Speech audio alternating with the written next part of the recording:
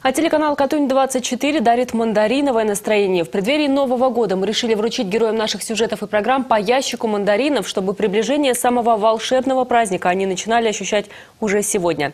Первый подарок вручила Анастасия Романова.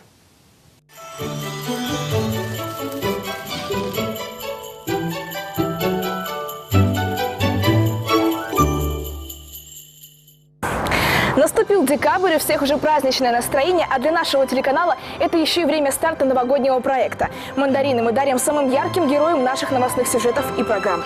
Сегодня мы приехали к Великорусскому оркестру «Сибирь». Нас уже ждут директор Татьяна Александровна Борисова и дирижер Николай Комиссаров. Но они еще пока не знают, зачем мы приехали.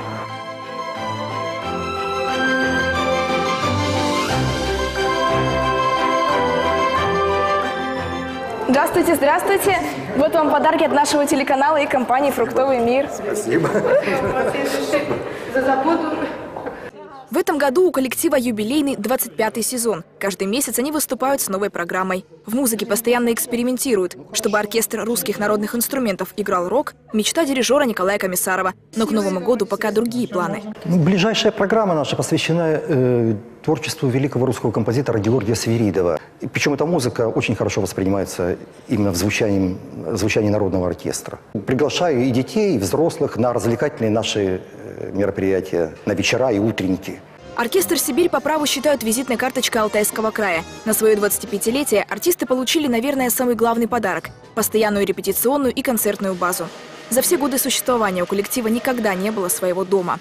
В 2014-м им построили самый современный в Алтайском крае концертный зал «Сибирь». В новом культурном центре большая сцена, мощная акустика, свет, для артистов десятки гримерок и даже своя звукозаписывающая студия. Но мы находимся в чудесном новом помещении. У нас великолепные условия для работы.